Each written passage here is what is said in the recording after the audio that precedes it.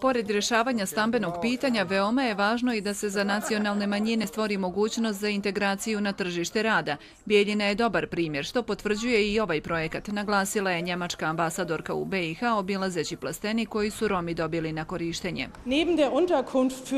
Posebno je to bitno za manjine, jer zato sam ja jako sretna što imamo ovdje ova socijalna preduzeća koje upravo trebamo i da otvorimo i koje će obezbijediti manjinama, u ovom slučaju Romima, ima održiv život i boravak jeli, i privređivanje prije svega. Želim da se zahvalim svim e, i Gizu i Njemačkoj ambasadi i svim ostalim donatorima Caritas, e, Keri i drugi koji su pomogli da napravimo jedno preduzeće gdje bi mogli ljudi da se zaposle i da ovdje steknu određene iskustva, ali da imaju i neku korist od koje mogu da žive.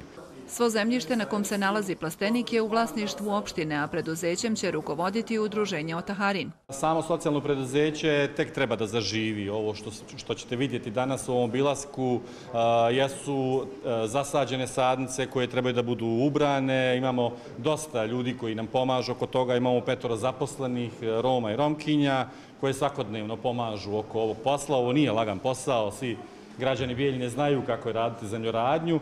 Međutim, mi očekujemo da naša prednost bude e, uslovi koje imamo. U plasteniku je trenutno zasađeno 2200 komada crvene paprike. Plan je da se ova zdrava hrana proda na domaćem tržištu. Na taj način se borimo sa predrasudama, ali i pomažemo ekonomsko osnaživanje romskih porodica, naglasio je Joković.